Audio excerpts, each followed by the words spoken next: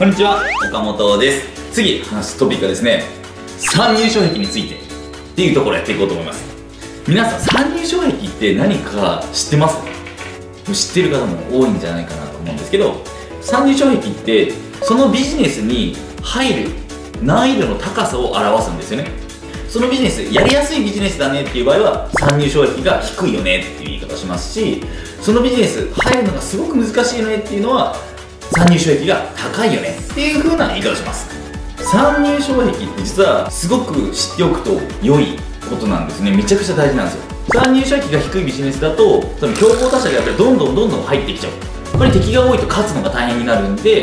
より参入障壁の高いビジネスをしていることが重要だったりします。じゃあ人材紹介業界はどうなんですかっていうと参入障壁めっちゃ低いんですよ。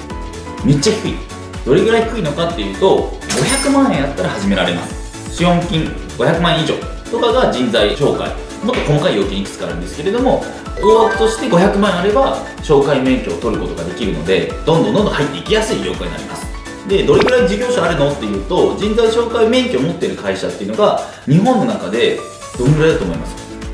1万以上あるんですよ。1万8000もうちょっとあるかな？1万8500とかぐらいだと思います今。それぐらい競合他社が多いビジネスっていう風になります。例えば人材業界の別の話をすると人材派遣の場合派遣免許っていうのが必要なんですけどこの派遣免許取るのはざっくり言うと2000万円必要っていう風になっていて派遣の方も他にもいろんな要件あったりするんですけど、まあ、紹介と派遣っていうに比べると紹介の方が人材業界の中では参入がしやすい分野という風になります。でじゃあどんなところが重要になるのか。みたいなところなんですけれども他の会社と違いがないと生き残っていけない。なので特化することがすごく大切になる業界です。特化する切り口っていうのは業界に特化する。例えばうちは紹介会社で業界としては IT に特化している業界特化型の紹介会社です。とかあとは職種に特化する。私たちは経理とかホームとかバックオフィスのスペシャリストに特化した紹介会社です。とかそういう意味で言うと MS ジャパンさんとかは去年ですかね上場してましたね。その特化型の紹介会社として上場を果たしてたのが MS ジャパンさんだったりしますしあと他は人に特化するっていうのも特化の仕方ですね。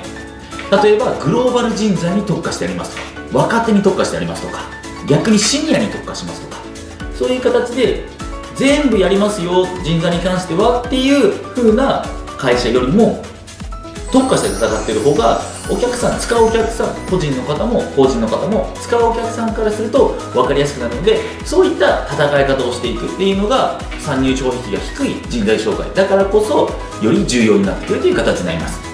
またでも違うこと言うと大手の場合は集まる候補者の数も集まる法人の数も全然違ったりするんで総合的にやってることが多い。っていうふうになるんですけれども人材紹介会社の従業員数って、まあ、ほとんどが10人以下。1人とか2人でやってる会社とかがすごく多いんですよ。なので少ないからこそたくさんいろんなことできるわけじゃないんで特化してやるっていうのがより重要になってきたりします。で就活で人材会社見るときとかに30人以上いたらまあ結構多いなっていうぐらいに思っていいと思います。一般的な会社からすると30人ってめっちゃ少ない小規模な会社じゃんっていう風に思う方多いかもしれないんですけど紹介会社って人数そんなにいらなかったりするんで小規模な事業者が多いんだなっていうふうに思っておくと良いかなっていうふうに思います。以上がまあ参入障壁のどれぐらいなの、まあ、低いよっていうところとそれに伴うどんな特化の仕方が重要なのかなみたいなお話になります。